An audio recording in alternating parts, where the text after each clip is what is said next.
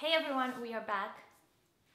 Today we're going to be reviewing the new Fenty foundation and hydrating primer. Anyway, so Fenty Fenty has launched their new hydrating foundation and their new hydrating primer. They have two other primers, the original and um, a mattifying primer as well. I haven't tried either. I did not like the original foundation, which I found to be too mattifying, too drying on me. It emphasized my pores, it emphasized my patches. It was just too much for my skin. Um, you can see my review. I'm gonna link it down and also put it up here. I'm just gonna apply the primer to half of my face because I wanna see if that makes any sort of difference and so I'm just gonna go half-half.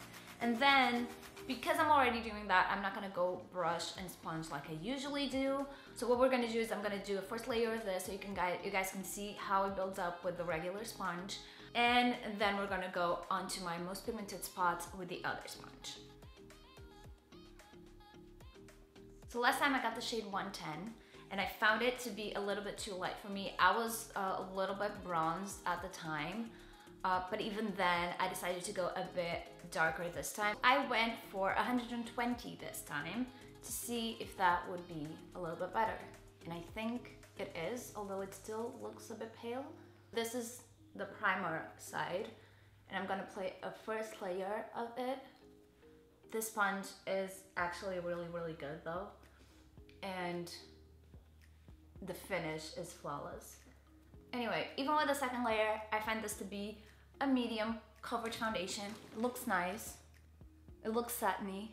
There are still a bit of pigmentation spots coming through, but we will tackle that with the other sponge or alternative you could alternatively you could use the Fenty concealer on top of this but because the Fenty concealer is matte and the foundation's hydrating I don't want to mask the textures so you can see how it goes but it is it does have a very satiny finish Honestly, I'm not mad about this. I'm not mad about this coverage. I would happily have it this way. Just so we see what we can do, we're just gonna go a little bit with a microfiber sponge. So my microfiber sponge is from Sunday Ivy. I love them. I definitely recommend them if you have acne because to me, it mimics the application of a brush, which is a lot more high coverage, but gives the finish of a sponge. Yeah, that totally works that totally goes full coverage. And honestly, this is even a, a better solution to use both sponges so that you really don't have a cake face. You just have a bit of spots that have a little bit more product while the rest of the face looks beautiful. I'm gonna come up close. Uh, I'm just gonna do my concealer first. Yeah, I think I'm just gonna use the Maybelline Age Eraser.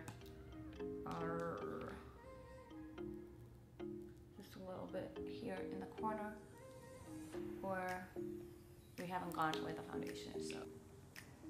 It looks really really nice. Looks really dewy and juicy and fresh which I appreciate. And also for a pasty foundation a pasty like pasty colored foundation to match my pasty colored skin tone it's hard to make it look healthy and juicy and I think this is achieving it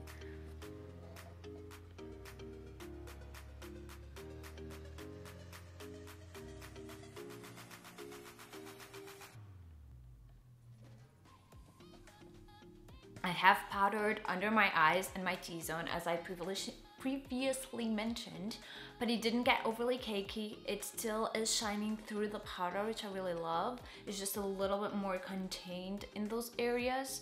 Um, here I applied the highlighter. A little bit of the satiny went away because it is a powder, highlighter, but this was one of the last things I applied, so I expect that it's gonna shine through anyway. And the rest actually looks really good. It didn't, I mean, as I applied my bronzer, um, it did wash away a little tiny bit of coverage right here, but nothing that wouldn't be fixable. Um, and because it is a satiny foundation, I was expecting that. But overall, it's looking super luminous, super cute, and I'm so excited. Yeah, I am wearing the Uh-Huh Honey Colourpop palette for the eyes, and I'm gonna post this tutorial on Instagram either on the same day or soon. So if you want to see that, follow me on Insta and we'll see how this um, foundation works throughout the day. Separating a little bit in some areas, such as this. It's not emphasizing any texture or patches, it's just separating a little bit. And so maybe I was careful while powdering because I didn't want to over powder and completely ruin the dewiness of the foundation. But the dewiness, as you can see, shines through the powder eventually. So maybe um, I could powder a little bit more heavily and also set this because I didn't set this. in my forehead, nose, here. It's not, it's a really nice, nice texture. It's just starting to separate a little bit. Uh, which also could be due to the really hot weather that is today. My doggy. I definitely have to take a few more steps to lock it in. But I do love the finish and I love how it feels on my skin. It doesn't feel heavy at all. It feels pretty flexible and elastic. And even though it does separate, it's not like creasing here on my laugh lines or anything, so that's good. Third time that I'm filming this because I'm an asshole. And the first time the mic wasn't on, and the second time the camera wasn't on, so yay. I ended up doing a 12 hour thing instead of an 8 hour thing because we went to the movies and we kind of got carried away, but yeah. My eyes are terribly shot to heaven. I'm really tired and so please don't judge. Um, anyway, this ended up breaking down just a little bit more, not as much as I thought it would be, so I'm kind of surprised about that.